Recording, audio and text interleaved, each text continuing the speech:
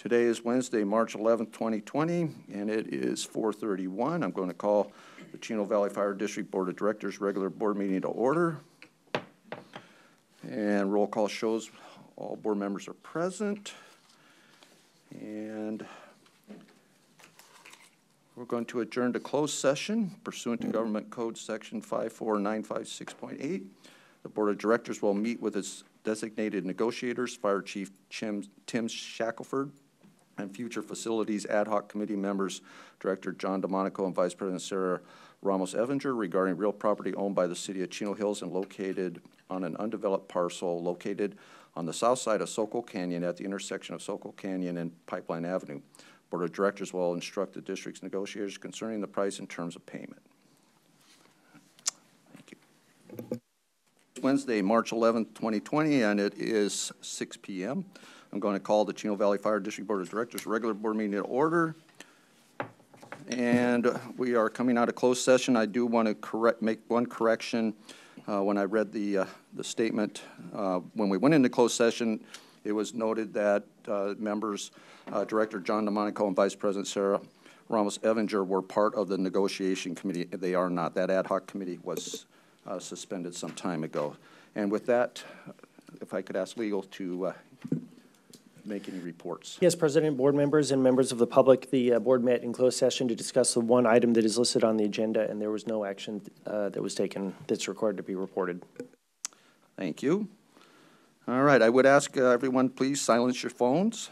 And I want to remind everyone that the district will be video recording the entirety of the board meeting. And also, out of an abundance of caution, we will, we will refrain from shaking hands with those being recognized this evening. Additionally, we suggest those in attendance also refrain from shaking hands. Please remember to frequently wash your hands and avoid touching your face. With that, I would ask you all to rise for the flag salute and remain standing for the invocation. Ready, begin. I pledge allegiance to the flag of the United States of America and to the republic for which it stands, one nation, under God, indivisible, with liberty and justice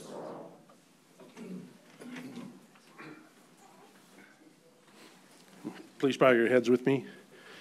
Dear Heavenly Father, we thank you so much for this beautiful day and the much needed rain. Lord, I pray that uh, tonight you'll be in our midst, that you would give us wisdom to help us to make decisions that will honor you and bless our cities. I pray for our firefighters, our administrators, and our chiefs that you would continue to protect and watch over them. I pray for those that are sick or injured for your strength and comfort and healing on them. And I ask, Lord, that you continue to watch over our families that have made so many sacrifices for us. I thank you for those we recognize tonight for their accomplishments and dedication to excellence, integrity, faithfulness, and respect. Continue to watch over them, guide them, and give them wisdom to fulfill the work that you have in store for them. Thank you for your love, your grace, and your mercy. Thank you for the privilege and honor to serve our fire district in the cities of Chino and Chino Hills. And we pray this in your precious name. Amen. Thank you. All right. Uh, to the clerk or board members, are there any changes on the agenda? Got a little distraction going. We have no changes. Thank you. Presentation and announcements. Proclamation National Donate Life Awareness Month. Rob Ralston, One Legacy Ambassador, please come forward.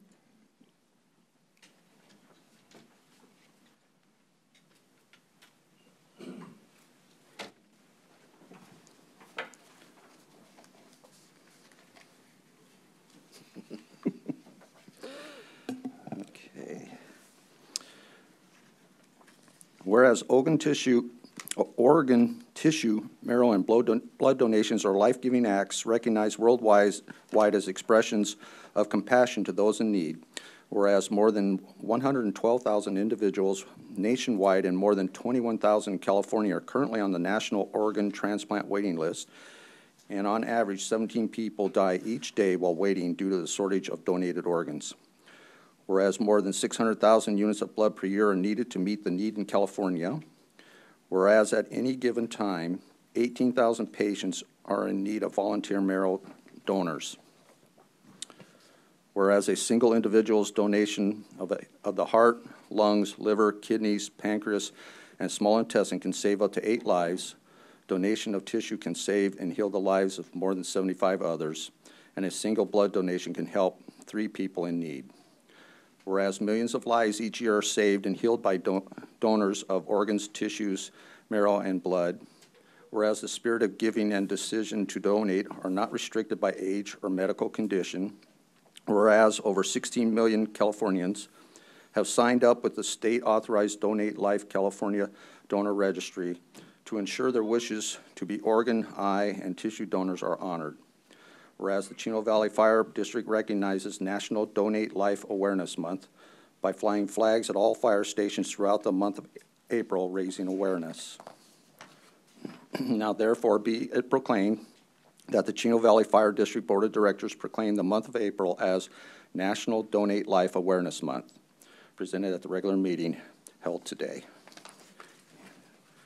And up here, I'd like to give you that proclamation. Fantastic. Here, we hold it up, let Marcio get our picture.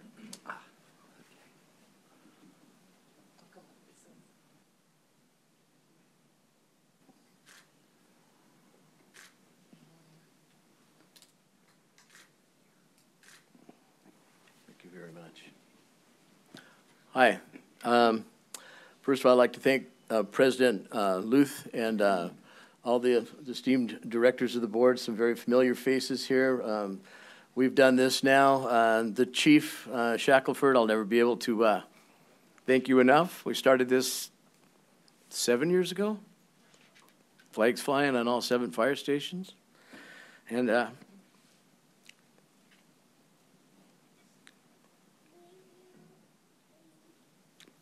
this is obviously really dear to my heart.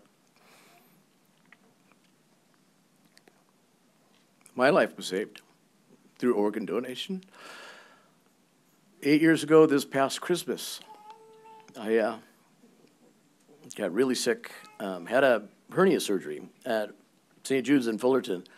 And uh, I had hepatitis when I was young, so I had a weakened liver to begin with. And then uh, the hernia surgery, I got a MRSA virus staph infection, then went undiagnosed for six months. And uh, by the time they discovered um, the problem, uh, my liver was um, destroyed and one of my kidneys was half gone. So um, I went right on the transplant list. I was really sick. I was down to about 120 pounds. I'd go into a coma for a week at a time for about three years. And uh, uh, so I was on that transplant list for almost three years. Um, my wife was at a caregivers meeting because it was pretty much driving Sue bananas. And um, so she was going with our two daughters who quit their jobs to come home and take care of me. And she said, Get your husband dual listed. Uh, I was about a 100 times down the list in California from getting the liver that I needed. Um, I got dual listed in Memphis, Tennessee, and I got the transplant in three months. Um, went back there, jumped through all the hoops, um, got established um, uh, a place to stay, and the phone rang at midnight one night on December 17th. They said, Get here as fast as you can. They put a man on life support. Uh, my donor was from Tennessee and the donor family. Um, we got on a plane, flew into Memphis, got off the plane. I went straight to surgery and woke up with a second chance. So, soon as I was strong enough, I said, I'm going to make sure more people get lucky like I did. So, right now, um, uh, like uh, President Luth said, uh, there's 112,000 people waiting. You could fill the Coliseum and the parking lot. That's how many people are waiting for the phone to ring for them. And there's about 17 people a day the phone doesn't ring for them. Uh, I was one of the lucky ones. So uh, um, the good news is we had 8% more successful transplants in 2019 over 2018. Uh, 1,619 lives were saved through organ donation. 1,616 um, people from, that were blind from uh, corneal blindness were given back their sight. And uh, so, and it's, and it's because of awareness programs like this. It's because of moments like this that we're changing all that. So, thank you from the bottom of my heart for all you do. And uh, I'll be looking forward to seeing those flags fly. Thank you very much.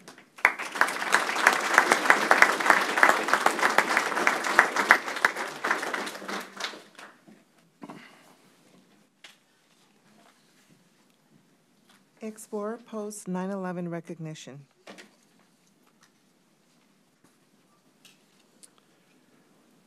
All right, could I ask firefighter paramedic Philip Vasquez to join me, please?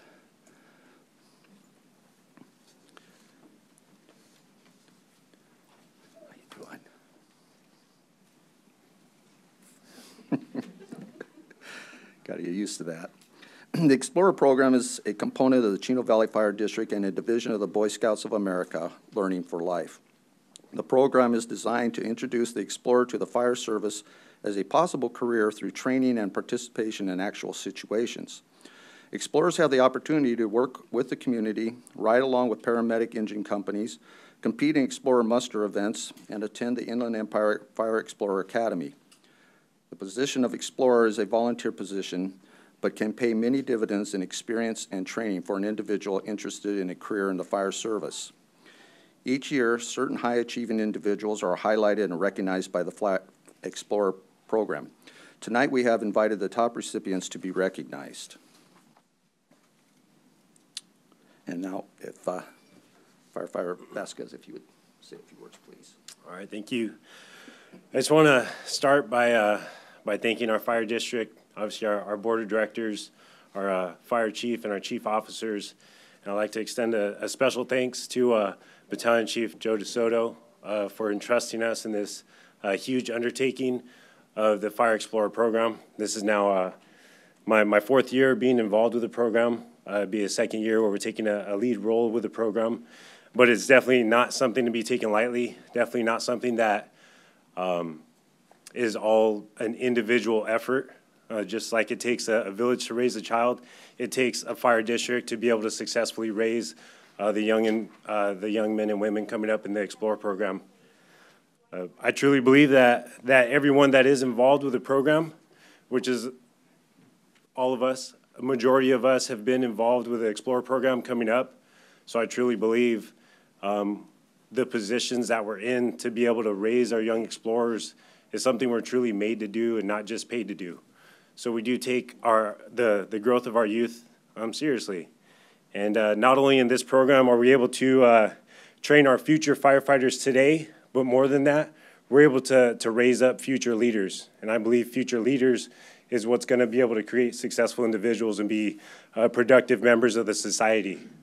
So uh, with all that, um, our fire board, our fire district, very supportive of of what we're doing, and um, I'm just privileged to be in the position that I'm in today. Uh, I was an explorer when I was younger, and like I mentioned, many of us were. And uh, now, 16 years later, um, still significantly impacted by being an explorer when I was younger because now I'm in a position where I can actually give back and can continue to pour into those young individuals who I hope appreciate. But uh, with all that, I just want to again say thank you.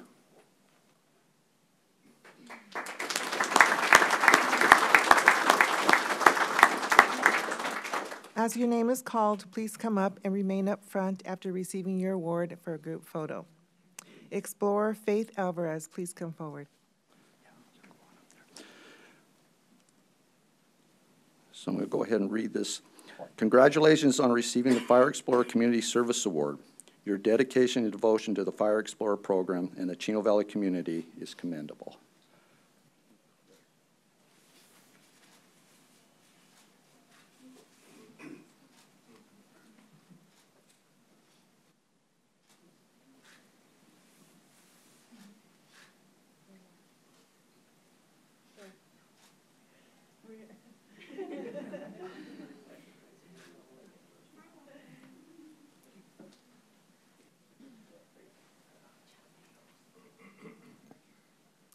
Explorer Matthew Elish, please come forward.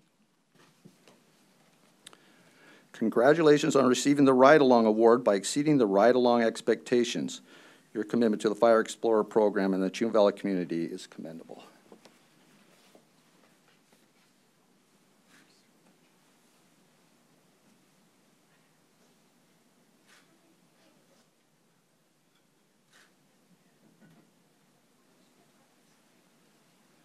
Explorer Adrian Renteria. Congratulations on receiving the Fire Explorer Commitment to Service Award. Your service and dedication to the Chino Valley Fire District and Fire Explorer Program is commendable.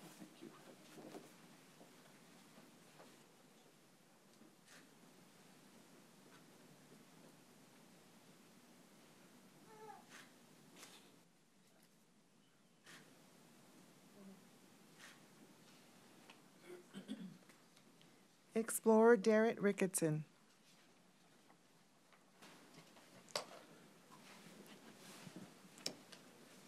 Okay, I have two recognitions here. First is congratulations on receiving your Fire Explorer Leadership Award.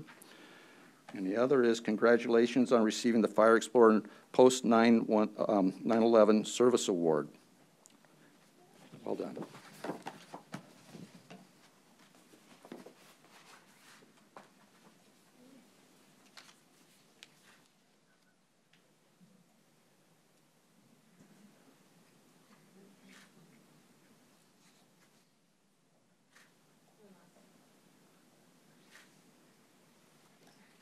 Can we please take a group photo at this time?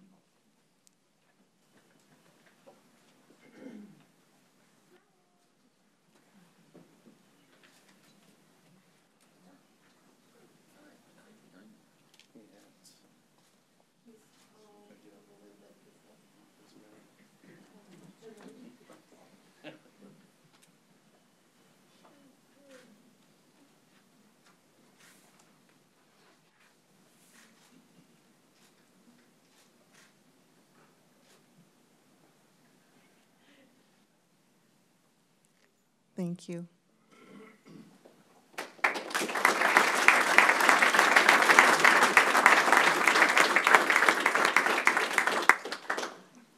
Also being recognized tonight are five fire explorers that have aged out of the Explorer program. The age requirement for the Explorer program is 14 through 21 years of age. As I call your name, please come forward. Explorer Jonathan Chong. And I'll just read this. Plaque for your participation as a fire explorer for the Chino Valley Fire District. Your dedication and commitment to the program is commendable. We wish you success in your future career goals in the fire service. Congratulations.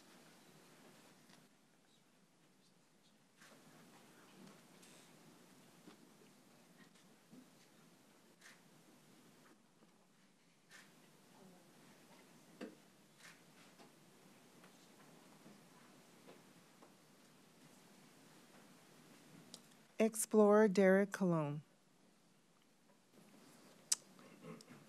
For your participation as a fire explorer for the Chino Valley Fire District, your dedication, commitment to the pro- program is commendable, and we wish you success in your future career goals in the fire service. Congratulations.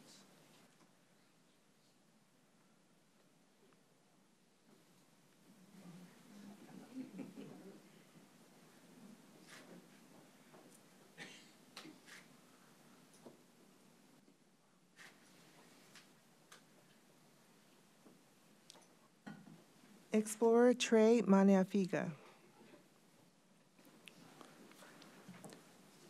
for your participation in the Fire Explorer in the Chino Valley Fire District.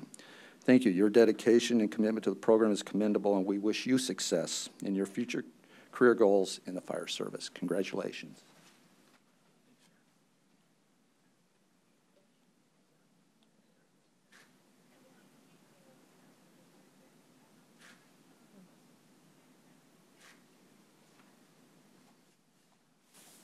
Explorer Eric Mungia. All right, for your participation as Fire Explorer in the Chino Valley Fire District, your dedication, and commitment to the program is commendable. And we wish you success in your future career goals in the fire service. Congratulations to you.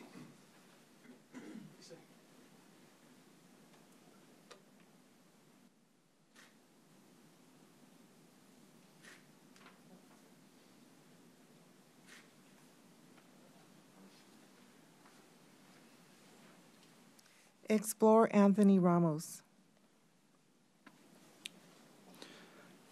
And for your participation as a fire explorer for the Chino Valley Fire District, your dedication and commitment to the program is commendable. We wish you success in your future career goals in the fire service.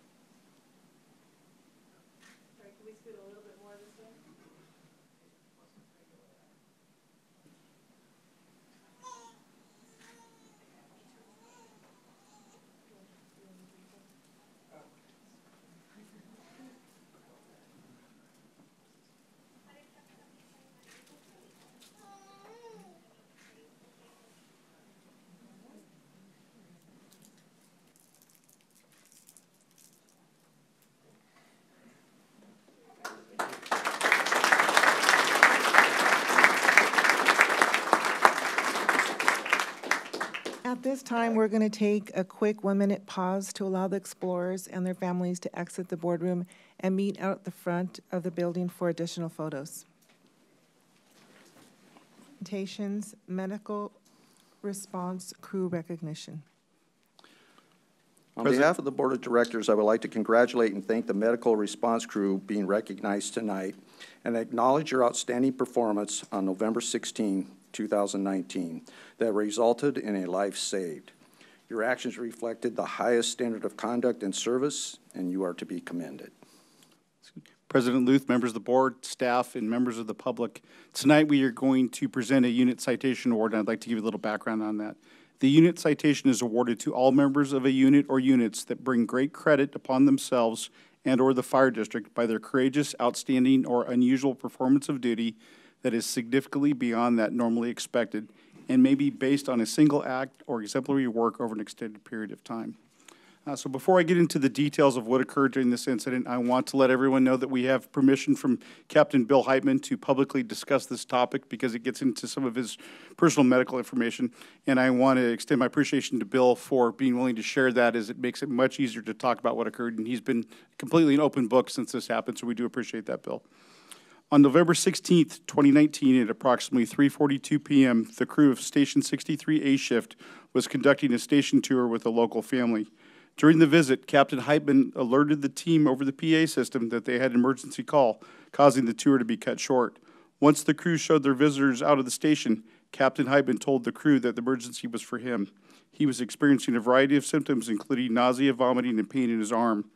The crew immediately began assessing and treating their captain with advanced life support equipment that is on all frontline CVFD equipment. They quickly determined Captain Heitman was experiencing a significant cardiac emergency as the EKG monitor displayed STEMI, which stands for ST elevation myocardial infarction, or more simply, a heart attack. Engineer Brian Wofford called comm center, requested a medic squad, squad and an ambulance to respond to Fire Station 63 for an employee with a medical issue. While awaiting the arrival of the other units, firefighter paramedic Matt Robertson and engineer Wofford continued to assess and treat Captain Heitman. The treatment was consistent with local protocols for cardiac emergencies and consisted of IVs, medication, cardiac monitoring, and continuous waveform capnography. Medic Squad 62 and the ambulance arrived and prepared Captain Heitman for transportation to San Antonio Regional Hospital due to the cardiac capabilities at that facility. While en route to the hospital, while en route to the hospital, firefighter paramedic Matt Robertson and firefighter paramedic Mark Hughes, who's now Captain Mark Hughes, uh, continued to assess and treat Captain Heitman. Shortly after arriving at the hospital, Bill went into cardiac arrest. He was no longer breathing on his own and had no pulse. The crew quickly sprang into action and began high performance CPR. After approximately four, four minutes of high performance CPR, Bill had a return of spontaneous circulation. Uh, once that was achieved, the San Antonio Regional Hospital cardiac care team was able to reperfuse Bill's heart in the cath lab, effectively improving the occlusions in his arteries that caused the heart attack. The quick and professional actions of Brian Wofford, Matt Robertson, Mark Hughes, Chris Nelson, and the staff at San Antonio Regional Hospital all played a role in Bill being alive and well today. The fire district is committed to seeing the Chino Valley become a heart-safe community, and we look forward to a long, sustainable relationship with partner agencies and facilities that share in this commitment. And we're going to present the awards here momentarily, and then we're going to actually ask Captain Heitman to come up and, and share uh, his experience in a few words as well.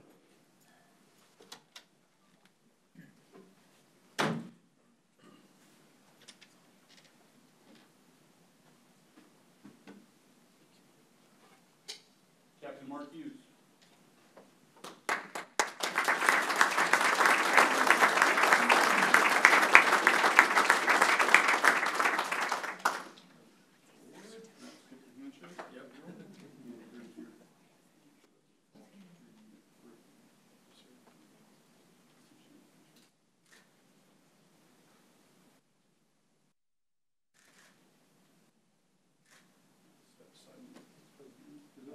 On behalf of the people, board, and certainly the community, uh, just thank you for outstanding performance. Uh, Just awesome, it's awesome to hear that. Thank you, sir. Another one I say, thank you.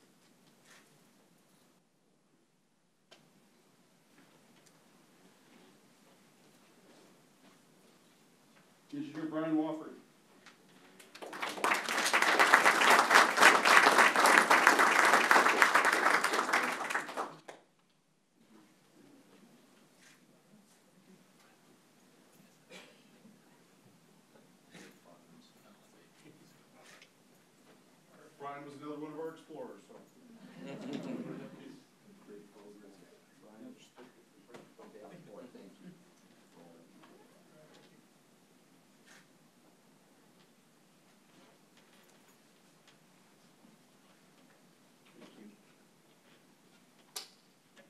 Firefighter paramedic,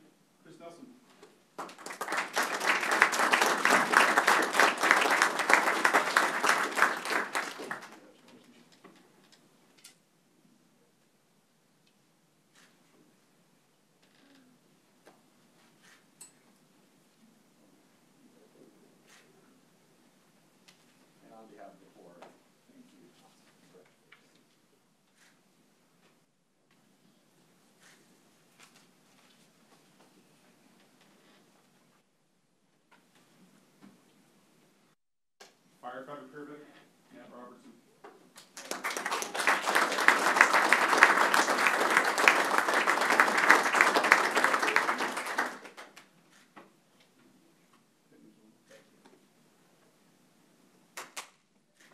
We'll see you back up here in a few minutes.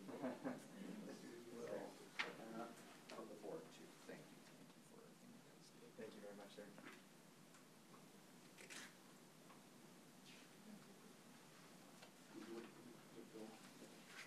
Get on your seat for just a minute. Captain Heitman, would you like to come to the podium and share a few words?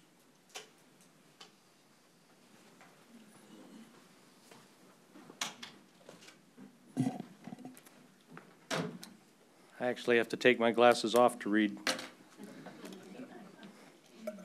I wrote my comments down so that I could stay brief.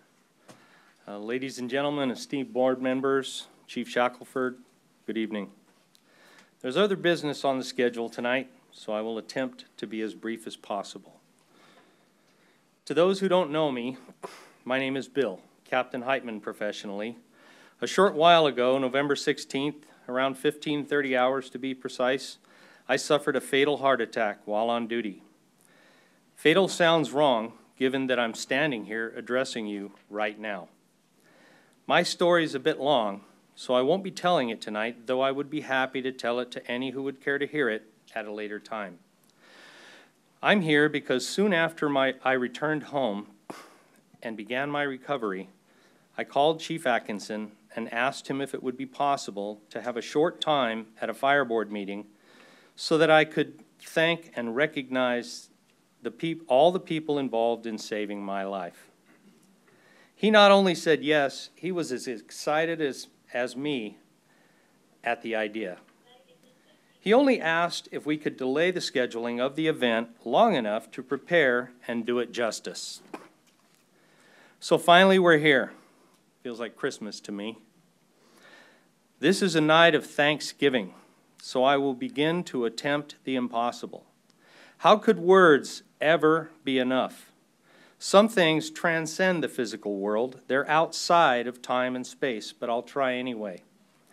First, I think it goes without saying to anyone who was there that I stand before you a living miracle. With that in mind, I would like to thank the miracle worker, my Lord and Savior Jesus Christ, in whom, whose glory this was accomplished. God does miracles every day. That being said, he most often chooses to perform those miracles through the hands and tools of willing heroes. Among the heroes I will thank and recognize tonight are the EMS personnel who, a few years ago, looked into the future and asked the department to take a very expensive, labor intensive leap of faith into the world of high performance CPR. My first thank you goes to the heroes in the administration who supported that idea. Thank you, Chief Shackelford, and everyone in your administration. No venture of this size could have gone anywhere without that support. My second thank you goes to the heroes serving on this and previous fire boards, who believed the dream of saving even one life that would have otherwise been lost was worth the expense, and with that in mind, approved the increased spending. Thank you all. Heroes are often not those seen on the streets at the head of the fray. However, without whom victory would be impossible. Thank you all. Now to the boys who saw it not abuse for me to place such a test and burden on their lives and sanity. To Matt Robertson, who first advised Brian and I that I, unknowingly, was suffering the most fatal cardiac event that can be experienced. His transition from crew member to the operational commander in charge of my life was nothing short of awe inspiring.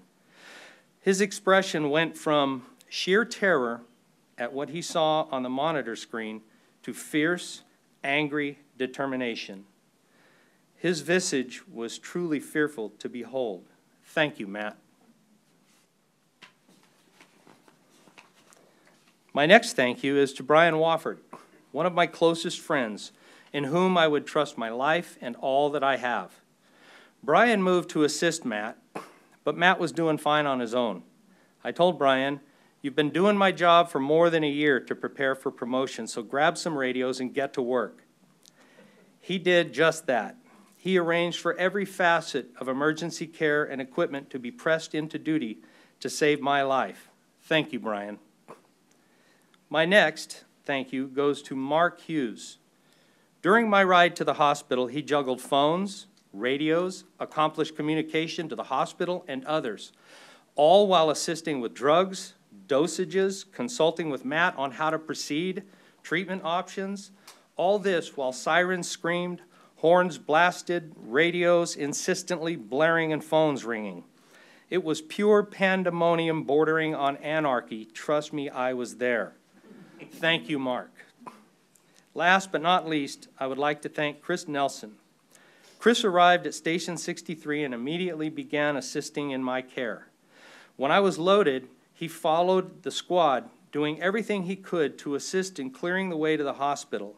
At the end of the seemingly endless 31 minute drive through almost supernaturally congested traffic, he exited the squad and rush, rushed to assist once more. As soon as I was moved to the bed in the emergency treatment room, he was immediately called into action. He was given the first crack at cracking every bone in my chest. Seriously, look at the size of the guy. He was my heart when it stopped. When my heart refused to beat, he beat it for me, and beat it he did. Thank you, Chris. Now, I hope I haven't run over my time too awful much. I just have a couple more comments, and they are to do with praise of the Chino Valley Fire Department received by the personnel in the hospital who were there when this was going on, who had a front row seat to the theater. I was in the hospital, I was in the CCU for two days and moved to a totally separate wing. I was there for five days. Over that five days, I was visited repeatedly by just average workers in the hospital, nurses, doctors, who were there and saw what was going on. They were all amazed. I was asked, Are all firemen as efficient at what you do as you guys are? Um, is every fire department like Chino Valley Fire Department? Um, I had people that said, I was watching and it looked like a well rehearsed television show. It didn't look real. Requests were made and filled immediately by the fire personnel. Apparatus was at their hands and utilized immediately. The care and coordination that went on was amazing to the doctors that came to visit me. I had one person who referred to it as like watching the ballet. She said it was like watching a dance ensue. And over and over, Maciel was with me one evening when one of the people came in. Um, you guys need to be proud of yourselves. This organization, from the fire chief to the person who turns off the lights in this building at night, everyone plays a part. There's no one greater, no one lesser. This is an amazing organization you work for. I stand here, I'm proof. This is a place to be for years to come, for your entire career. Look back on this. When you find yourself wondering, why do I put up with this? This is why, and I'm not alone. Our percentage of returning to life, we call it ROSC, in Chino Valley, is higher than anyone in the area. You guys need to be proud of yourself. Pride is a good thing when it's for a good reason. And with that, I will say good evening, good night. Thank you so much for letting me just say thank you. I'm here because I asked for a time to say thank you. So thank you. Thank you, wives, for putting up with these guys and letting them come to work. So with that, I'll close. Thank you for giving me back to my wife and children.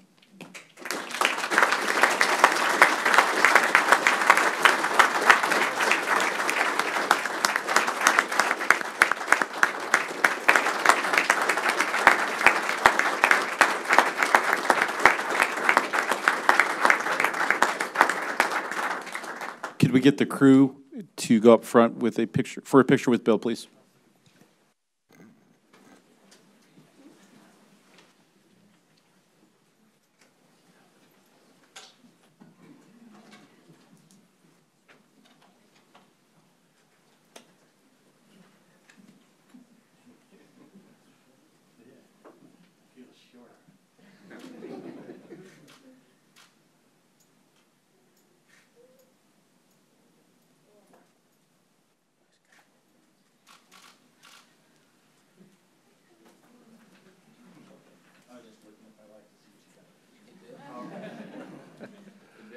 Yes. How old are you? I am 61. Thank you. Been married 41 years. Congratulations. The second one was better than the first one. I meant years, not life.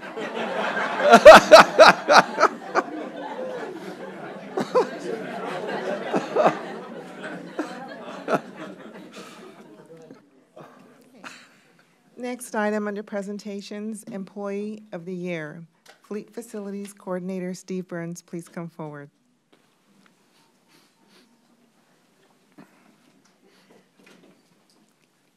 Steve Burns has been with the Chino Valley Fire District for five years. Steve and his wife Sherry have been residents of Chino for more than two decades. They have two adult children, Brent and Stevie. Steve is a graduate of Diamond Bar High School and the California State Contractors License School. He has over 20 years of experience as a contractor, and throughout his career, Steve has worked across a wide range of companies. Before coming to the fire district, Steve was a local business owner where he perfected his mechanical and business practices. As the fleet and facilities coordinator for the fire district, Steve handles, re- handles repairs, general maintenance, and co- coordination of large projects. He has been involved in the procurement development and completion of our new maintenance facility and has implemented new business practices, including a robust fleet maintenance program. Steve is involved in several special programs that include the Heart Safe, Bleed Safe program, Make a Child Smile, and the Remembering Win program.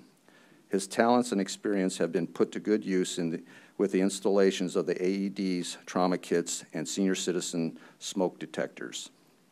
Steve is a proud member of the community, and when not busy building his next project, he can be found volunteering his time at district community events and staying busy designing and producing signs, plaques, and trophies.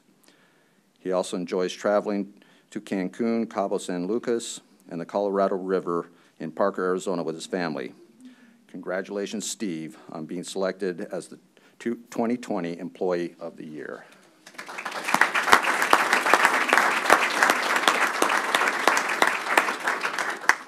Steve, it's my honor to present you with this plaque. Congratulations, well-deserved. For those of you that don't know Steve, um, his position was created when we hired him uh, at a time when we were dealing with issues with prevailing wage and really being gouged by some contractors that would take advantage of us. Um, Steve more than pays for his position in the savings that he- brings to us, and we've yet to find anything that you can't fix or figure out. So we appreciate all that you bring to us, uh, your sense of humor. Um, it's up there, yeah, at, at times, yeah. That's good. No, it's, it keeps us entertained, so we appreciate all that you do for us and your involvement in our organization beyond just coming to work every day. So thank you for giving back to our community. Well-deserved honor, congratulations. Thank you very much.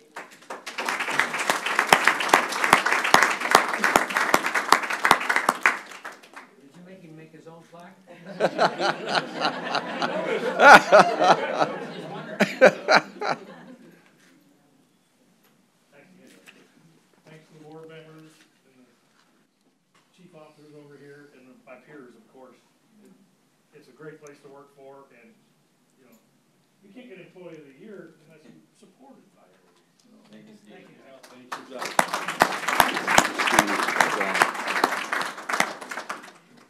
Firefighter of the Year, firefighter paramedic Matthew Robertson. Please come forward.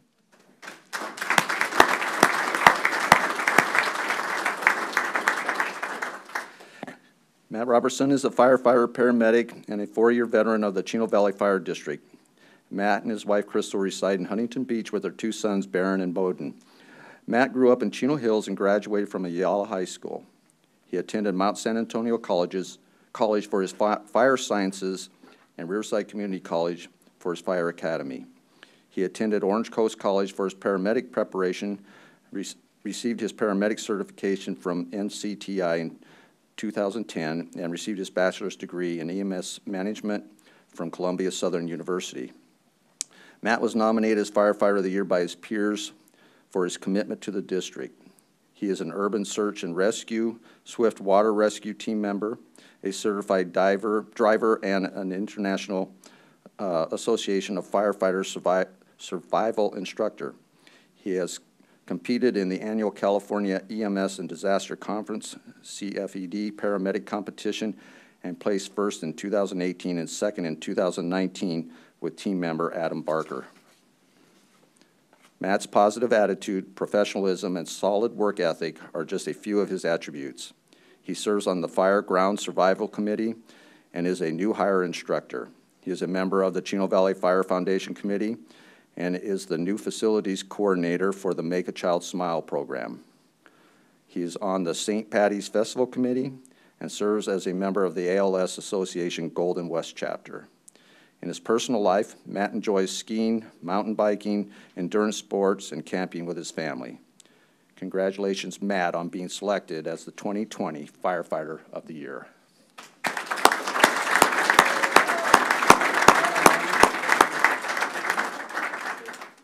Your uniform.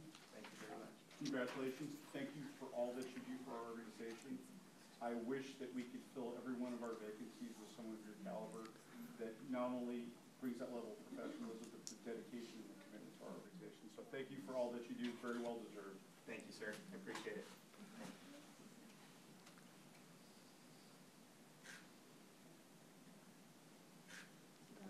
Thank you. Thank you.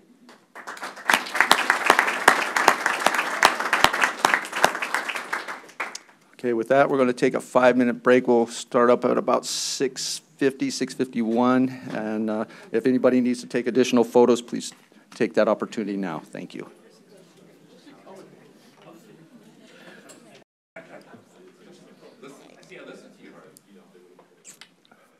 Public communications. This is a time and place for the general public to address the Board of Directors about subjects that do not appear elsewhere on the agenda. The public may address items on the agenda at the time addressed by the board. Due to board policy and Brown Act requirements, action may not be taken on any issue not on the agenda.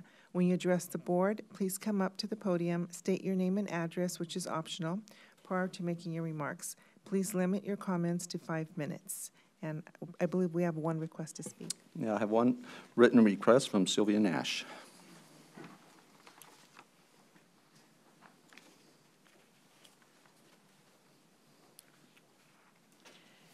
My name is Sylvia Nash, and I'm from Chino Hills, California. And I'm here to thank the people that were involved in the Chino Valley Mayor's Prayer Breakfast, to our Mayor Art Bennett, to Eunice Ulloa, who were the hosting mayors.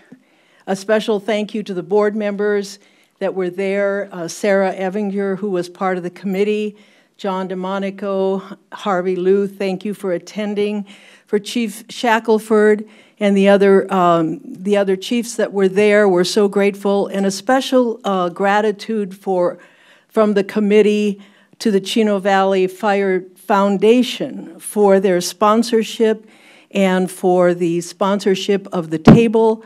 And it was just a packed house. In fact, it was overflowing. And we just had a wonderful time, and we're looking forward to having another one again next year. But our gratitude for all who attended, our gra- gratitude for the uh, committee that worked on it, and we were just very grateful for the wonderful success of our first one that is resurrected again. So thank you very much. Thank you. Do we have any, anyone else? Seeing none. Okay. Liaison report, Suzette Dang, San Bernardino County, Fourth District. Good evening, board members, staff, audience members, Chief Shackelford. Suzette Dang with County Supervisor Kurt Hagman's office. I'm here to share um, update on the coronavirus. And I know there's many questions and concerns from the public, so I I'm here to address what the uh, latest um, stance with the county is.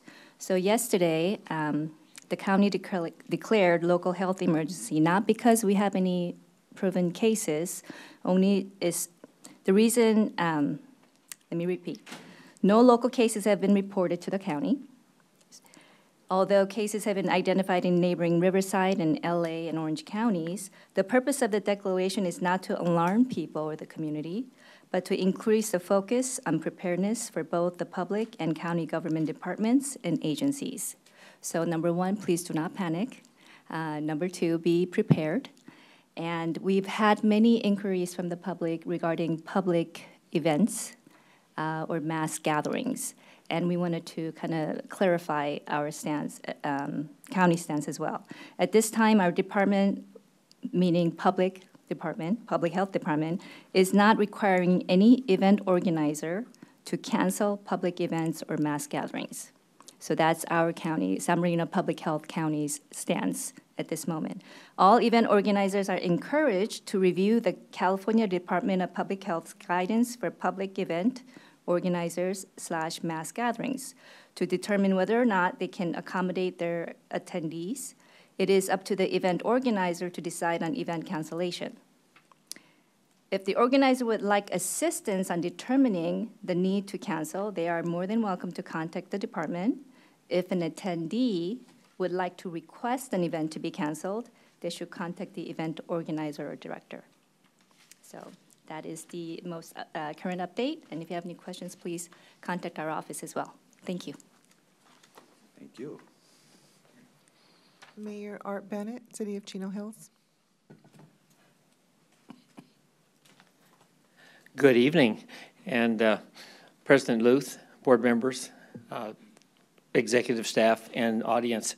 Um, I guess I have to start out by saying, wow. You know, to be in the presence of so many heroes tonight was overwhelming. Uh, You know my position and my, my uh, beliefs in this fire department. They've saved my life twice, and uh, can't say enough for it. A couple of them are in this room.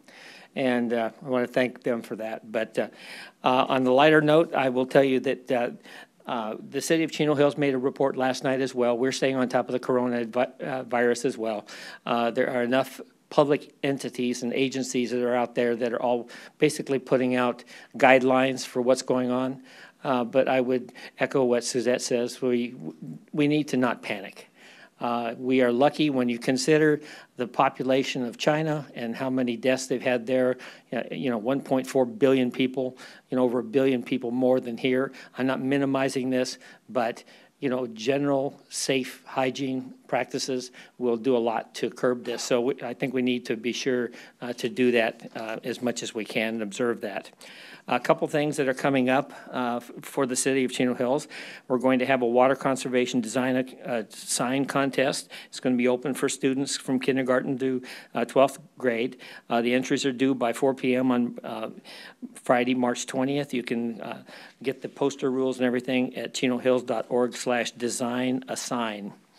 Uh, We also, for the adults that seem to be left out during uh, uh, Easter, we're going to have an adult Easter egg scramble. It is for age 18 plus. It's going to be for Friday, on Friday, April 3rd.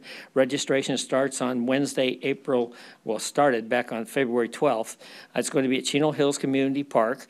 $16 uh, tickets, and uh, last year sold out. And the egg hunt will begin at 8 o'clock in, in the dark. Bring your own flashlight and basket.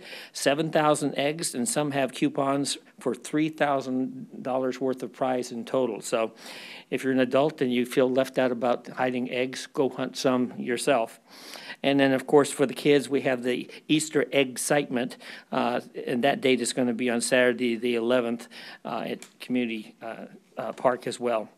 And of course, the one thing I'd be remiss if we didn't mention, because we're talking about celebrating all of the brave heroes that we have in this room and out there uh, protecting us on a daily basis, we're going to have our joint salute to public safety that's sponsored by the chamber and by the cities. That will be coming up next week on March 19th from 11:30 to 1 at Los Serranos. You can get tickets uh, through the city, and you probably get tickets here. I'm not sure, Sandra, if you're offering those uh, as as well. But uh, it it gives our organization, our cities, and that the opportunity to thank each and every one of you firefighters and our police as well uh, for the jobs that you do on a daily basis, where you put your life on the line uh, to make sure that we safe are, are safe, and we really, really do appreciate that. So, thank you, and. Uh, you know, to everybody that was here, uh, please pass on the word to those that were recipients of the awards that uh, we're all very, very proud of them, and it's well deserved. And uh, thank you very much for the opportunity to say something. Thank you. Director Steven Elie, Inland Empire Utility Agency. Thank you. Good evening, Mr. President, Madam Vice President, staff, board. Um, I uh, was so happy to be able to participate last Saturday at the St. Patty's event put on by your, your wonderful foundation. I have to say that it was a spectacular event, and uh, while there were some fears, I guess, that people wouldn't show up, obviously they did, and, and everything went great. Um, your, you know, I, I was talking to Jeff Taitula about this. Um, the last few, the, the fire department's always been great, I have to say, in the 22 years I've lived here. But in the last few years, there's a real sea change of being outward and public and really getting in the community more and more. And it, it's a it's a fireball. I'm sorry, it's a snowball. No pun intended here. Sorry. it's a snowball effect because the positivity, uh, you know, and, and what we witnessed tonight, uh, the the captain whose lives was sa- whose life was saved, and you know, that's the essence of what what you do here, and the the community partnerships, and you know, bringing us along to be with you. And I, I come, I try to come about every other month to make sure I, I come here and see you, but it's going on daily. Our staffs are working well together. Um, our electeds are working well together, and I truly appreciate you and the service you provide our community. Um, and I happen to, my district happens to cover the exact same area as yours, uh, Chino and Chino Hills, and the, the partnerships and the way your chief, your leadership of your board is out there time and again in the community and, and working towards the, the public good.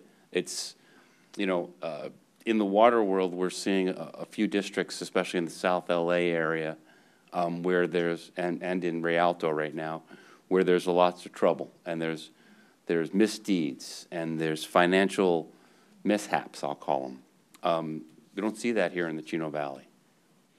With good reason, because we've got good leadership, you've got a solid staff, your CAFR report, your financial report for five years. Um, uh, although I will tell you, Steve, uh, our agency has done it for 20 years, so you got a lot of work to do. but in all, in all seriousness, I do appreciate you, and um, the you know we're we're uh, we too are looking at the uh, COVID-19 issues very carefully and in protecting our our citizens, our staff, some of whom are happen to be our citizens as well, and I, I know you are too. So we all just have to keep keep keep our ears and eyes open and keep working together responsibly. And, and I think that that's a watchword uh, that we'll talk about later in, in, in your agenda. Thank you. Thank you. Consent calendar. All right. Uh, Do any of the board members have any items you'd like to pull from the consent calendar? Yes, I'd like to pull item one. Item one Number three, please. and three. Anything else? Okay, just making my notes here. Let's see here. Okay, uh, is there any public comment on the consent calendar? Seeing none, do we have a motion to move items two, four, five, and six? Motion to approve? I'll second that. Second, we have a motion and a second. All in favor? Aye. Aye. It carries unanimously. And let's go to um, item one. Director DeMonaco. Uh, Yes, I pulled item one um, specifically for the minutes of the February 19th meeting, the special board meeting we had. It was an off-site meeting, but it was an open board meeting. And uh, the minutes, uh, we don't really have any minutes for that, and I wanted to ask, when we usually have those types of board meetings, and uh, we had our consultant there, do we get a written report? We usually get a written report on those, or will we be getting a written report on that meeting? I, I believe that there's a draft uh, pertaining to my evaluation that has been provided to President Luth from the consultant. Okay, so we will be getting a That written will be coming forward, yes. Okay, and then I got another comment to make on that. That, because that was an off-site and we've never recorded those in the past, there were things that were said at that meeting that I think uh, we really need to record those meetings, either audio or vi- or or video or both. And I would like to recommend that in the future, any meeting we have, whether it's here or off-site or wherever, if it's an open board meeting, that we record it. And with that, I'll move to approve item one. Do we have a second? Second. All right, have a motion and a second. All in favor? Aye. All right, passes unanimously. And item three, Director Kreeger. Uh, Steve, this for you. Um, With uh, the Fed changing the rate, um, how's that going to affect our long-term investments? How's that? So You're has- referring to the uh, Fed funds Yeah. rate cut? So th- those tend to be um, directly impactful of short-term rates. However, they do have, tend to have uh, indirect impact on long-term rates. Uh, I think probably less so the Fed funds rate cut uh, versus the potential economic impact of the uh, current scenario with the COVID-19 um, has potential to keep interest rates low for some period of time, depending on, at this point, how sustained the economic downturn uh, may be associated with that scenario. Uh, Obviously, we're very early on in that uh, sort of new normal, and it remains to be seen how long and how significant that impact's going to be, but all indicators seem to indicate that it'll get worse before it gets better. So I would suspect that we're in for a sustained period of, of continuing fluctuation in the equity markets and uh, low interest rate environment for probably some time, several months at a minimum. Right? With that, I move to approve. Thank Second. you. I'll second it. Second, all right. We have a motion and a second. All in favor? Aye. All right, and that also carries five zero. Uh, with that, I'm gonna go ahead and open the public hearing.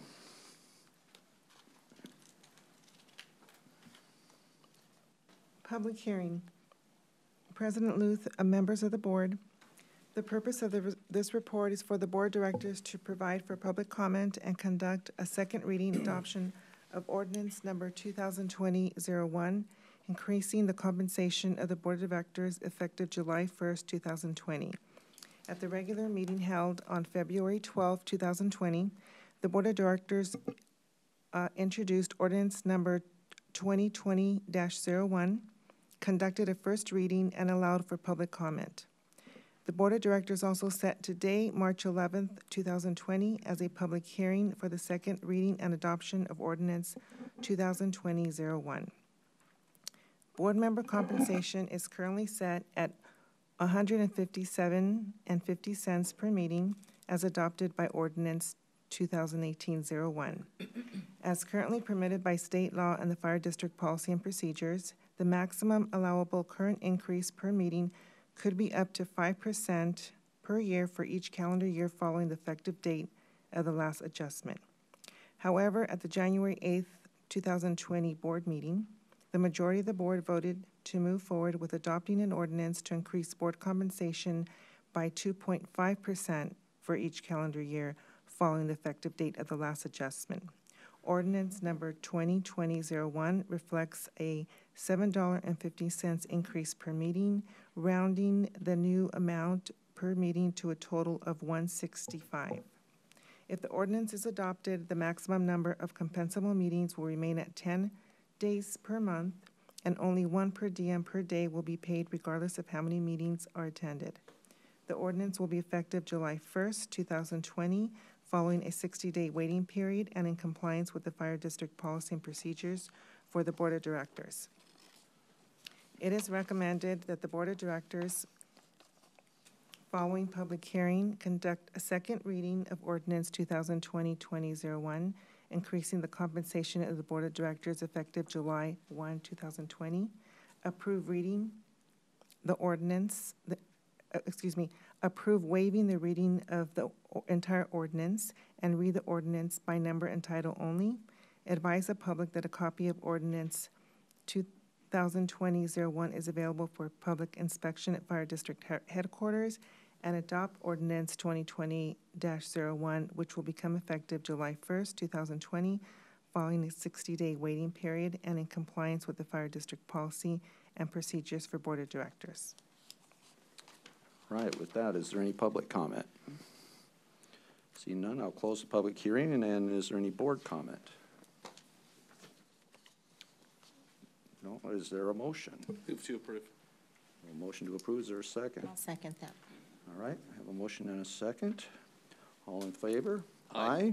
And opposed? No. All right, carries four one, the no being Director DeMonaco.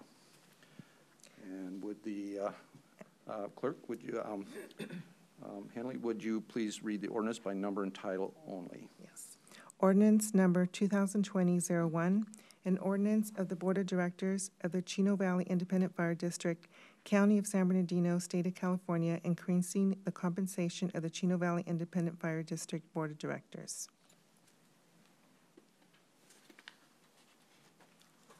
Old business, none.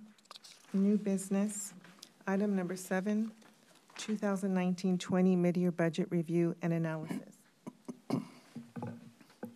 Purpose is to conduct a mid-year budget review for discussion purposes. Report by Finance Director Steve Heidi. President Luth, members of the board, good evening. Uh, Staff's conducted a mid-year budget review and analysis as of January 31, 2020. District was seven months into our uh, fiscal 1920 year, about 58%. The associated revenues appear to be uh, largely on track, is uh, certainly the good news to report. Uh, We anticipate uh, potentially coming in slightly better uh, than budget, uh, but our revenues appear solid. On the expenditure side, um, a little bit of a mixed bag, if you will. Uh, Services and supplies uh, look like they're about where we would expect at this point in the fiscal year. Um, However, uh, in the salary and benefits area, um, we are trending, uh, unfortunately, uh, higher than uh, budget and um, than our prior four fiscal years, about three to four percent of the average of our last four years. Included in the report is an attachment of our monthly financial report at January 31. Uh, Shaded lines in blue represent favorable budget trends, while those shaded in red represent our unfavorable trends. Of particular note uh, in the workers' comp area, both uh, labor associated with coverage for uh, workers' comp illness and injury, as well as uh, associated uh, care, treatment, and legal expenses uh, are significantly over budget uh, in a- about a three-year trend. Uh, We have seen increases the last couple of fiscal years. We did increase our budget allocation uh, for 1920, and even in spite of that, we are anticipating uh, significant adjustments when we bring forward uh, our request for budget adjustment in April. Based on current trends, we would anticipate uh, requesting authority of about a million dollars um, on a net basis, largely due to the projected fiscal impacts of increasing uh, workers' compensation expenses. Uh, With that said, uh, staff is also uh, contemplating potentially recommending um, consideration of, of additional payments toward uh, the district's uh, unfunded um, pension liabilities. So we may uh, br- be bringing that forward as well. At this point, we wanted to just provide some preliminary information for the board and would anticipate uh, coming back for authority uh, next month. With that, the recommendation is that the board receive and file this report, and I'm happy to answer any questions you may have. Does anyone have any questions or comments at this time? Okay.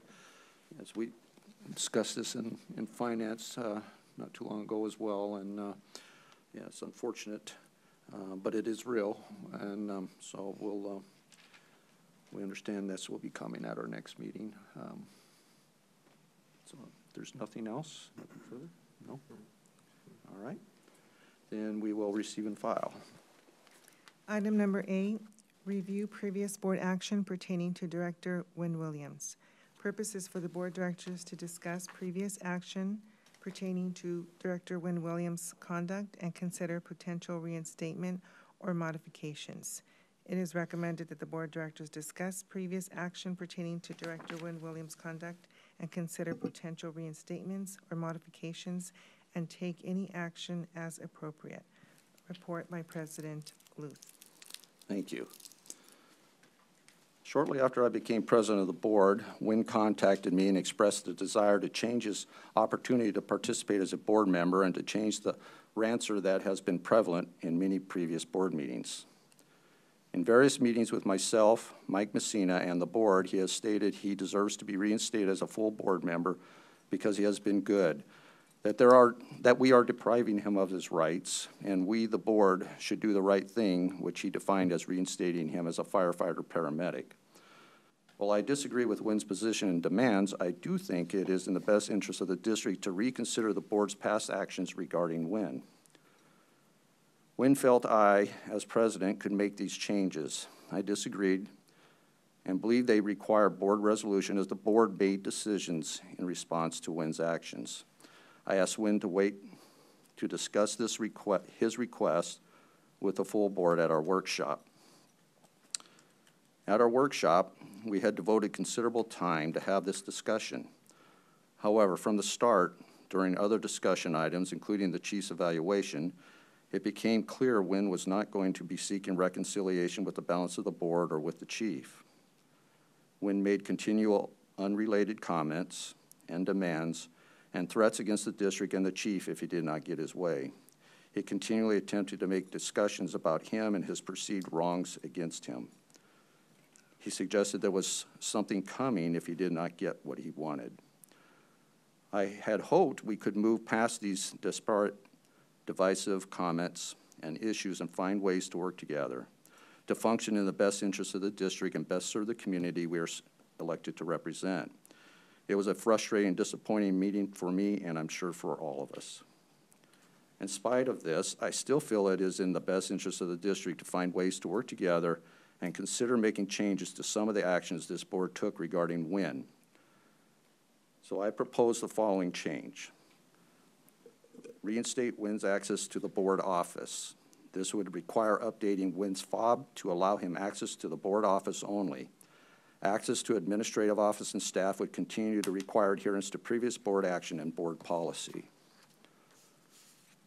Because of WIN's threats to the district, I propose the following changes after we see what action WIN takes in the next two months. When asked, Wynn stated he did not know what he was going to do, so I feel it is prudent to wait and see.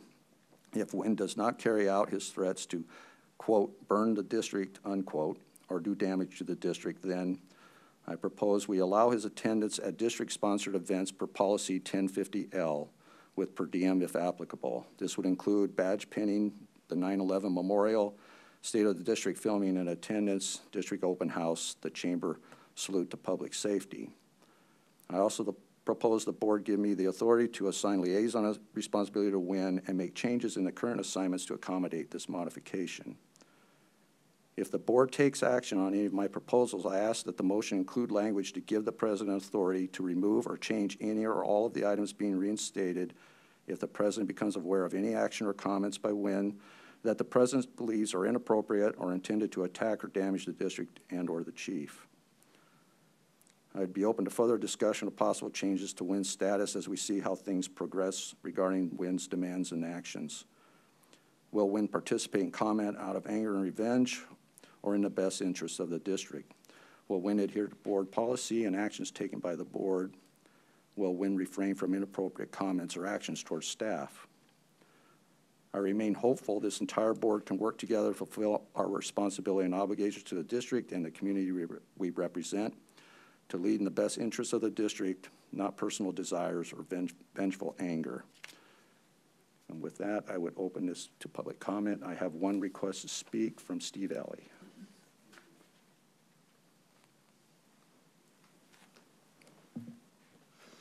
Mr. President, Steven Elie, 22-year resident of Chino Hills, as you know, also an elected director on the Inland Empire Utilities Agency, but I'm speaking as a resident, not, not on behalf of IEUA. Um, we spoke, I spoke earlier about reactions to the current pandemic as the World Health Organization mentioned it, and I think there's a parallel here. I think that this board has regrettably had to take action to protect the public and to protect, most importantly, its employees, especially the chief and the clerk, from behaviors that are unacceptable in a public servant. Unacceptable. And you started your conversation um, with some vague descriptions of uh, frustrations, but what has been, and this was in a public meeting, so no one's telling tales out of school, what's been reported to me were uh, commentary made about retaliation against an employee in the district, actions of an elected public official retaliating against somebody. That's unacceptable. As public officials, as elected directors, we are supposed to be above reproach. We are supposed to act always in the best interests of the public we serve, the 175,000 people in the Chino Valley. That's unacceptable. And to, to think of changing what has been put in place after months of wasted resources and time because of somebody's personal jihad is unacceptable to me. It's unacceptable to me that you would change what's been in place on the whim, hope, and prayer that somebody will behave better if they get a little bit of what they want. And that's really what, what I'm hearing here. Um, obviously, I haven't been involved in all the discussions, but I will tell you that it's appalling to me that an elected director would retaliate against the chief of, of the fire district. I've been in this room when he's essentially tried to give that chief a review, his own personal review, outside of the normal personnel practices, in public, made statements that, if they were coming from somebody who was rational, would be um, detrimental to the district. The district could be exposed to liability. Luckily, your chief is, is a realist and he understands the source of where it's coming from, right? But comments about the chief's performance, about wasting money on learning, on having paramedics, you saw living proof tonight that that's not true. So, time and again in public, Lord knows what's going on in private, this director has uh, abandoned his public responsibilities and to remove the censures at this point in time when he when just at the at the workshop just a couple weeks ago comments were made about people uh, people's religious beliefs.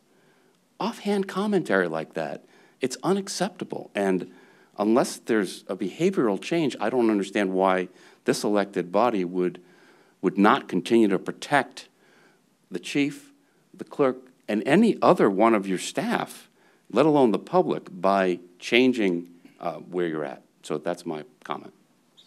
Thank you.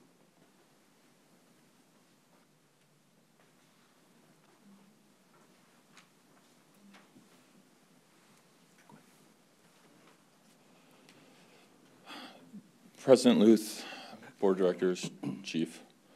Um, I don't want to be up here right now, but I'm going to be forced to because you guys are considering taking these actions.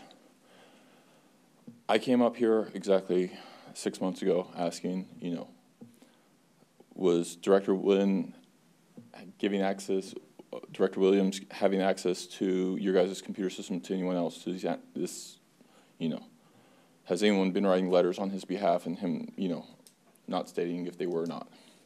Those questions were not answered, much less the stuff that happened after. You guys know, as he stated, that you know we went to court with the information I gave you about him possibly not having the correct address. In court, under oath, he claimed that I tried to extort him, which the judge found completely false. You guys are opening yourselves up to liabilities by, you know, giving him access to the director's office if that's what you guys want to do and, and a good faith effort, fine, that's you guys. But anything above that that is not going to be recorded is opening you up to liability. And you're, you will create, you know, the actions. He's been good for three months, but before that, he came up right after you guys censored him for the third time and, you know, put his hands on a member of this department and, and comment, you know, I don't care, you know, what are they going to do, censor me again? His complete disregard for your guys' you know, regulation you know, just because he's not said anything for three months is enough to disregard the three months of actions before that. And actually, I think it was six months of actions from the first censor. You know, he had to be censored three times.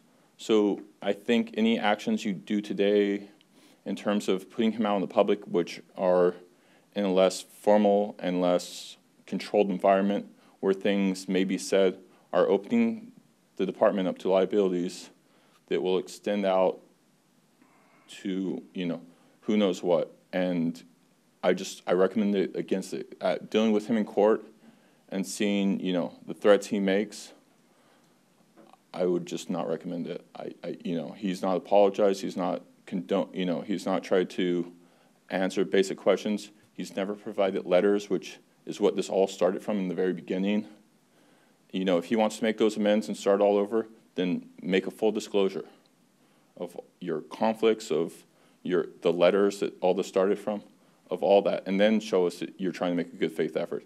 I've not seen a good faith effort or anything that shows any reason to, you know, do anything above, you know, if you guys want to let him come in and, you know, feel like the contact that, you know, doesn't have to be done through the chief and take some of that off of him, or he can come in and pick up his mail and leave fine, that's on you guys. But anything above that, I would not recommend it.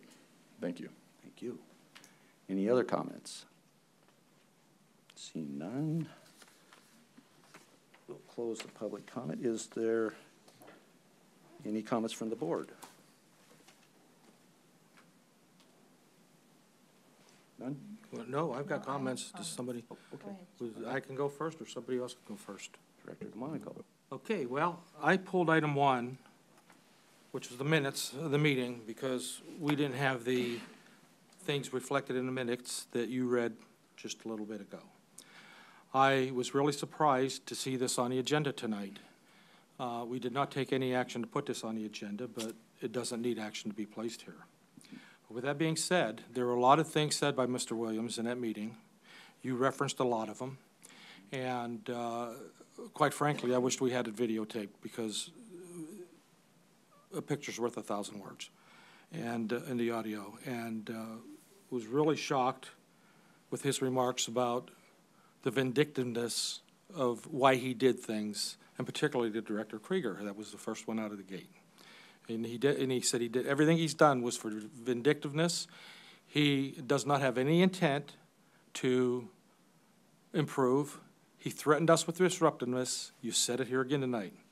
He's threatened us with extortion. You said it here tonight.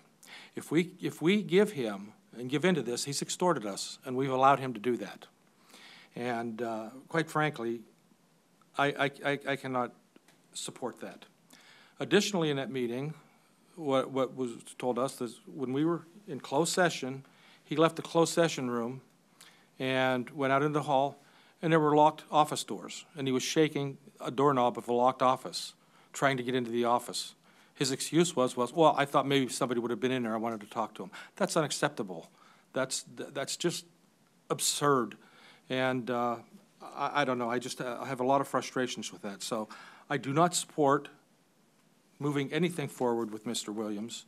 And my vote is going to be to leave things as they are and to let him prove over a period of time that he is going to change, but he's told us he's not. But I would love to see him do that. So with that being said, until he changes and he truly tries to become a member of this board and truly tries to represent the public for the office of which he was elected to represent, uh, I await to see that before I make any positive decisions. Right now, I'm voting no. Director Kreeger? I'm going to hold off for now. All right. Okay, Vice President Ramos Evinger. thank you. So I went into our special workshop with an extremely open mind and having nothing but compassion for Mr. or Director Williams and saying, okay, you know, I, I, I need, I will take a bullet for this district. I love this district. I serve this district with all my heart. It means everything to me. And I was willing to change my view about the situation for the better of the district. However, the actions during that workshop were appalling to me. Um, the fact that I cannot protect our fire chief, we as a board, against the comments of retaliation is scary. It, it's, it, he, this, this is just absolutely ludicrous that in this day and age with all the, the harassment, um, policies and everything out there that we as a board cannot protect our own employee against board members' comments. I also, you know, I, I was sickened at the fact that the retaliation against Director Kreeger, the impact that it had on his family making the paper and such, and when it was an actual just retaliation, and there really wasn't any worth. And then he says, "Well, we'll talk about it." Know, he had the conversation. We'll talk about this, and maybe I'll make it better. I, I just the the constant ex- extortion. I mean, I the vindictiveness. Um, I, I'm I, with a good heart, cannot agree. And I, I, I, I really tried. I truly, truly tried to really want to, you know, do this. I have no, I, I, I don't dislike you at all, Director Williams. I do not. It's your behavior that's appalling to me. And, you know, we all had to take a required harassment class that we are required to take. But yet there's actions that Director Williams is doing that is absolutely against all of those procedures, you know, quid pro quo, the, you know, I- I mean, it- it, we have, we have a situation here, and I gave my word that I would do everything for this district, for the board, um, to try to make things right. I gave you my word. I gave you my word. We had a conversation together, and I gave you my word. Um, but with a good heart, and I, I mean, I might consider the board office, but I want to know for what purpose. Like, let's, I need to know the identification of what purpose are we going to give him, you know, for that. I don't go to the board office, and I'm the vice president. I handle all my duties from home, from, you know, the phone, whatever. Um, the only time I make my way into the board office is when I have an agenda review. We typically will have it there. So I'm not sure. I want to know, like, for what purpose is, um, is that particular, um, taken? Um, if we were to ever decide that we want to allow him to district events, I think that harassment class needs to be retaken and, and I, I, I think fully taken. And maybe we, you know, ask him if he truly understands the ramifications of it. You know, there's certain things, I don't know if it's filters or I don't know if just quite not understanding, but there's certain questions that he asks that are inappropriate. Um, comments in public, you know, maybe you can ask your friend those particular or make those comments about somebody's, um, you know, their race, um, their religion, or that, you know, if that's your friend, maybe you joke around. But you just don't do that in a public setting. You do not do that. Um, us as public officials, we need, we need to be setting examples, an example always for this district and for our community. So I'm, I'm not there, Harvey. I gave you my word, but I can't with a good heart. Um, and I'm not being vengeful by all reasons, but you know, by any reason. I just can't move to approve that. All right. Director Williams, any comments? Am I going to be last? I have no comment. The only thing I can say is I'm damned if I do say anything, and I'm damned if I don't. All right. Anything, Director Kreeger? I think for that, then I'll speak. Um, I as well went into the workshop hoping that it would have gone different. Um, the words of vengeance and retaliate, retaliation came up out of your mouth about the letter that you sent to the district attorney about me came up over and over again. The word retaliation against the fire chief came up over and over again during that workshop.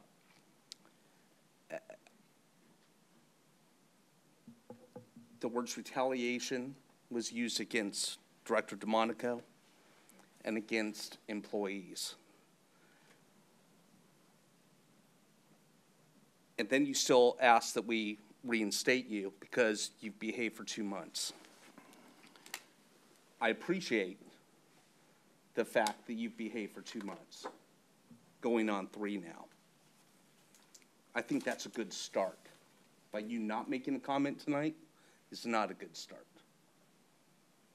There were things that I think you could have said tonight uh, publicly that you, that, that, that you chose not to say. Um, regarding the board office, uh, uh, like you, Sarah, I, I don't go into the board office. My mail is sitting here when I get here, unless if there's a specific reason. So if we gave them access to the board office, I, uh, uh, I'm fine with that. Like what Director Monaco said, I like to see more time uh, out of it. I want to function as a board, as a whole board, together. Uh, but the time has not been there for me yet. Uh, and I've not seen you demonstrate that uh, uh, yet to me personally or to the rest of the board. So um, I'd be open to having a conversation about the board office, but that's it at this time. All right.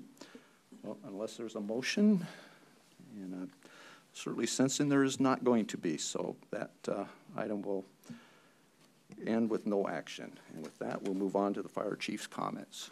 President Luth, members of the board, good evening. Uh, before I get to my comments, I'd like to offer uh, this to the board. I'd be willing to waive my rights to privacy regarding my evaluation if the board would like to discuss that publicly at a future meeting.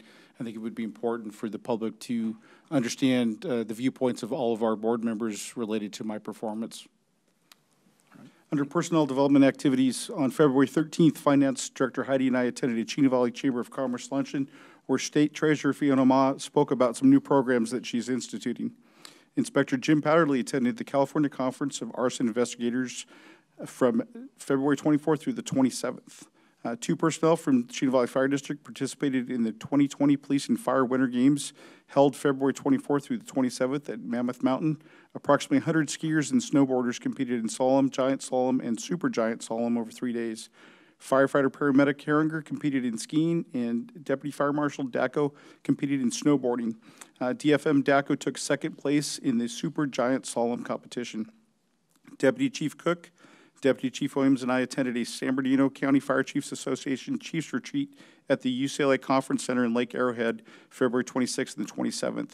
The purpose of the event was discussing partnering together to improve the delivery of emergency medical services in our county.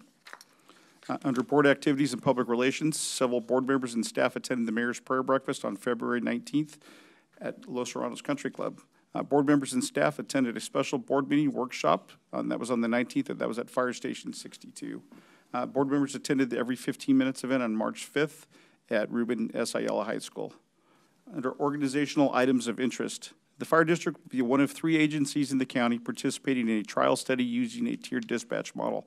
The purpose of the pilot program is to evaluate the current emergency medical system delivery system, excuse me, emergency medical system in different parts of the county and the nexus to emergency medical dispatch system. During this trial, we will look to alter our medical response model to low acuity calls based on information obtained during the emergency medical dispatch process at Comm Center.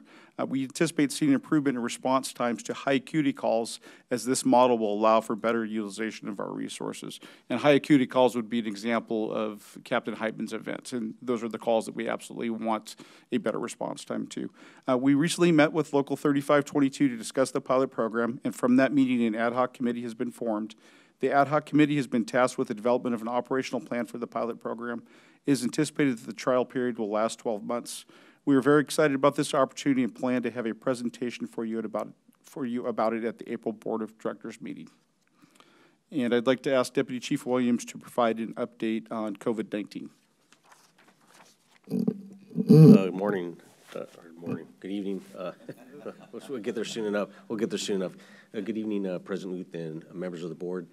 Um, As you heard tonight, much about the COVID-19 or coronavirus. coronavirus. Um, There's a lot going on. I echo a lot of the sentiments that were said tonight. I can assure you that as an organization, we are on the front lines of this. Uh, We're in weekly meetings, conference, teleconferences that are with agencies and organizations across, uh, across the nation. And uh, uh, working to stay with this. It's a very dynamic situation. It seems to change from day to day, uh, but we're we're getting intel in um, in real time so that we can be flexible and agile and apply the, the lessons learned and the information that's come in our direction to keep our personnel safe and to serve our district to the very highest level that we can. Um, uh, the the only caution that I would have is that. Um, as we do go forward, uh, this isn't something that's limited to Chino Valley Fire District but there there is truly a shortage of uh, masks, uh, gowns, these kinds of items that, that we utilize to protect our personnel. And that's, again, that's not something that's specific to us, uh, but it is a challenge that we probably will face with, with this thing continuing to increase and, and gain some steam. And uh, we're doing everything that we can to, uh, to look at other opportunities to, to gather these uh, materials that we need. but truly that is a concern that we may be dealing with in a, a short time here. And so with that, uh, that's the end of our report. And if you have any questions. Thank you, Chief. Under upcoming events, the Fire District's quarterly meeting with the City of Chino is scheduled for March 12th at 2:30 PM at the Chino City Hall. The monthly ASB CSD meeting was scheduled to take place on March 16th, but we did see notification earlier this evening that that has been canceled. Uh, the Salute to Public Safety event is scheduled for March 19th at 11:30 a.m. at Los Serranos Country Club. A Finance Committee meeting is scheduled for March 23rd at 8 a.m. here at our administrative offices. The SDRMA Spring Education Day will be held on March 24th in Sacramento. And the Fire District's quarterly meeting with the City of Chino Hills is scheduled for March 25th at 3 p.m. Uh, and my final comment tonight, I've forwarded a couple emails to the board recently. Uh, we have one of our current employees that uh, was recently diagnosed with cancer and also a uh, retiree of the district that is battling cancer. I just ask everyone to keep those two men and their families in your thoughts and prayers. That concludes my comments for this evening. Thank you, Chief. And we'll move into board member comments. Director Williams. Thank you. I just wanted to uh, say uh, I think the uh, fire department has done a good job, and I'm thinking about uh, Bill Heitman and how things were handled in regards to that. That was a, a great report. And uh, I did go to the uh, school, the high school, um, every 15 minutes, and they did a great job. And uh, it was quite a, a good thing that they did. I, I, I had to congratulate the kids on their performance out there. They, they, uh, it was inspiring in the sense that um, I would have thought there'd be clowning around and goofing around and stuff like that, but there wasn't. It was uh, done very well, and they all acted uh, very nice. And uh, I just thought that was great also. So um, I think that's about all I have to say. Thank you. Director Kreeger. Yeah, thank you. Um, I missed the last City of uh, Chino council meeting. Um, It was my son's birthday, and sometimes there's more important things to do than go to a city council meeting. No offense, Art. Um, But uh, uh, I did miss that, but I did attend the one prior to that. Uh, I've attended the school board meetings. Um, They're reacting to the virus as, as well. Um, The superintendent, they have not shut down any schools, uh, but the superintendent uh, has something out on their website about that. I did attend the, I'm going to say around the A, ASBCSDA, I don't know, it's a real long acronym. The Association of Special Districts for San Bernardino County, wha- whatever the acronym is. Uh, That meeting um, out in Fontana, um, I met with the chief. Uh, I did my mandatory uh, sexual harassment training, uh, attended the special workshop. Uh, I sadly missed the St. Patrick's Day event, something that I was really looking forward to, but uh, I got taken out of town, uh, so I was not able to attend that. I really want to congratulate uh, Philip Vasquez and the Explorers and, and everybody who helps participate in that program. That's a lot of extra dedication that people put in, and uh, from from our own department members to the parents and to the kids themselves. So congratulations to all them um, for for aging out, for their uh, being recognized tonight. Uh, it was great to see uh, Bill here tonight and and listen to the words that he said. And congratulations to uh, to the shift that that really helped save him. And of course, congratulations to Steve and to Matt for being employees of the year. Fantastic men. Uh, it's great great to know them and work with them. And and like you said about Steve, it's a um, he's been such a, a great asset. Uh, I don't think we really knew what he was going to do when we hired him, and uh, he's he's been a jack of all trades. And and I really liked what he said about Matt. If we could hire, you know, another uh, eleven people right now, just like him, that would be great. So, uh, with that, I'll conclude my comments. Thank you. All right, Director DeMonaco. Yes, uh, I did attend the uh, uh, Chino Hills Council meetings, and th- thank, thank you, Mayor, it made my job easier, I don't have no report. So, and, uh, but also the mayor's prayer breakfast, that was phenomenal, and Sylvia, that was great, that was wonderful, I- uh, and really inspirational, and uh, can't wait for the next one, so I'm going to thank you for that. Attended the St. Patrick's Day Foundation event, they did a wonderful job the really neat thing, all that money comes back into the community through different things for everything from, I guess, Make a Child Smile to AEDs and trauma kits. So they do a great job. They raise a lot of money, and the money goes back into the communities. Um, Want to congratulate uh, everybody tonight, and I'll just start here real quick with the uh, Donate for Life. I've got the dot on my driver's license. I hope, hope everybody puts a dot on theirs. Um, So that's, that's just a great, great thing the Explorer Post for the Explorer Awards and those that are leaving and, and aging out. Uh, hopefully some of those ones aging out, maybe they'll be future firefighters for us, because I believe we have a number of employees now that are former explorers. Um, uh, And then, uh, Captain Heitman, if that story doesn't move you, I don't know what does. And, you know, we've gone through a lot over the past few years with the cardiac care program, and uh, they've become a heart-safe community. And uh, I think it's paying off.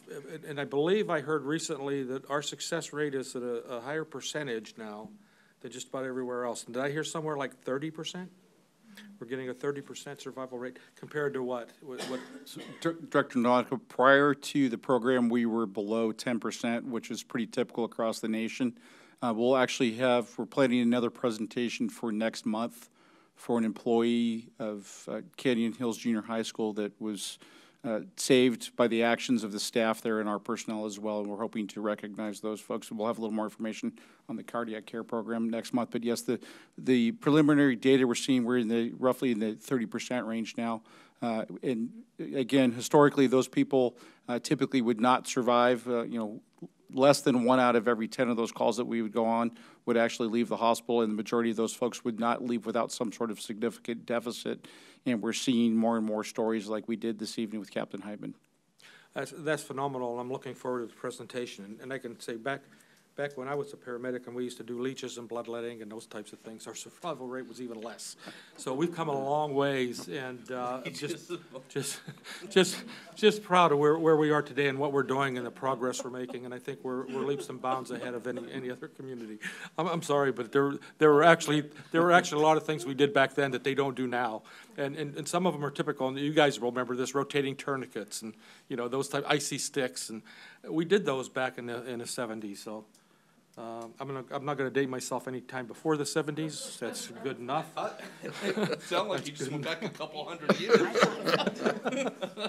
But, but with that, I also want to congratulate Steve and Matt for the, uh, being the employees and the firefighter of the year, so. And I can't think of a holiday come, oh, Easter, if we're, we, no, we're back before Easter, so I'll save my happy Easter till next meeting. All right. Vice President Ramos Evinger. Okay, I'll try to make mine quick because you guys took a lot of my comments. Um, the mayor's prayer breakfast, I mirror everything that, that Sylvia said. It was amazing and thank you for the support. One thing that, um, I neglected to recognize is that we had a, a joint honor guard and we, and, um, CVFD as well as Chino Police were part of that, and we really appreciate their, they, they were actually on duty, our guys, and so they quickly came, they did the presentation for us, and they went back to work, so I really, really appreciate, that's a tough morning, especially, you know, coming off, they're on the, they came, they worked all night, they had a rough night, came and did that for us, and then went back to work, so really appreciative. Um, the Carbon Canyon Fire Safe Council meeting, we ha, we're operating in a deficit, huge deficit, and we're looking for fundraising right now, looking for money within the community donors. Uh, the city of Brea did donate a thousand dollars, so maybe the city of Chino Hills will up their five hundred to a thousand. I'll have to come and ask officially, but I, I, okay, definitely I will.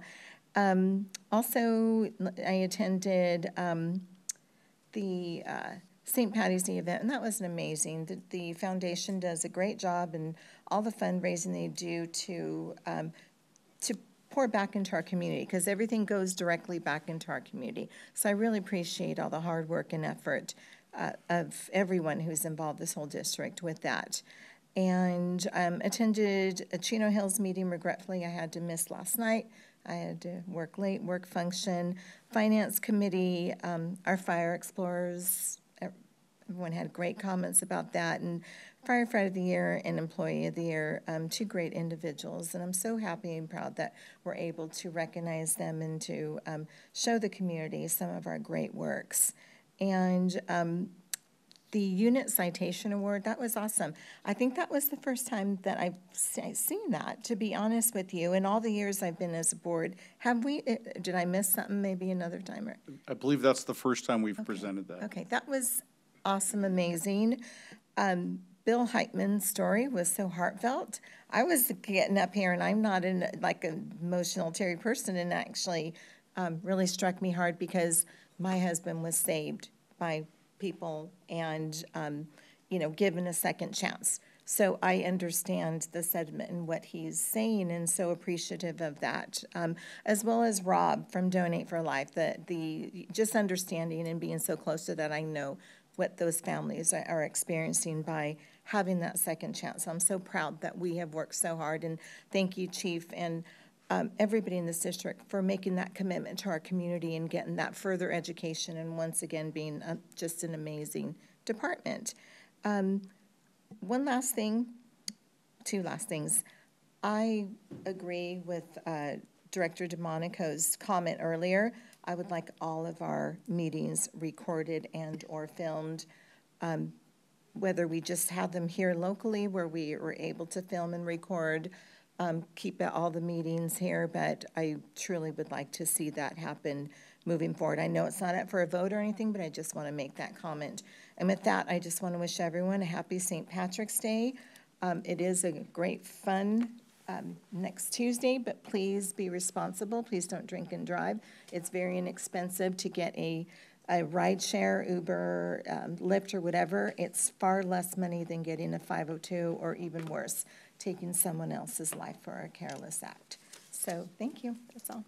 All right, thank you. Uh, let's see, the 18th and the 3rd was Chino council meetings, and at the, on, the meeting on the 3rd, there was, of course, a lot of concern about the coronavirus. Virus. Chief did a good job of uh, bringing the, the council up to speed on what is going on from, from the district's perspective. The 19th was the workshop, 24th was a finance and ASBCSD meeting. Uh, Superintendent, um, uh, Rutherford spoke, did a great job. The mayor's prayer breakfast was awesome, very well done. Uh, kudos to everybody who had anything to do with that. What a nice event. Um, congratulations to all the explorers and to everyone who's involved and works that program and makes that such a such a wonderful opportunity for for our youth and to the heroes we saw here tonight and for what they did for Captain Heitman. Yeah, that's I don't know how that story doesn't get to you and touch you. Um, um, but it, it, definitely brought a focus on the efforts of this district um, to become a heart safe and a bleed safe community and, and what, what that can mean. So that was awesome. Um, congratulations to Steve and Matt for all that they do. Um, I know we had a presentation, I think, maybe a couple years ago um, on the competition that Matt was in. And if you, it's amazing what they, they do. And they took first uh, and second last year, uh, first year before. It's quite a competition uh, right in front of all their peers. It's, it's pretty spectacular. And uh, the St. Patty's Day thing was awesome. And I, appreciate hearing the comments about our foundation um, and being involved and engaged in the community. I, I just appreciate that so much. I think they're out there. They're, they're trying to get um, more involved, more engaged, and I just think that's a great thing. I think it's good for our community and it's good for this district. With that, I will adjourn this meeting to a regular meeting of the Board of Directors of the Chino Valley Independent Fire District to be held Wednesday, April 8, 2020 at 6 p.m. at these district headquarters located at 14011 City Center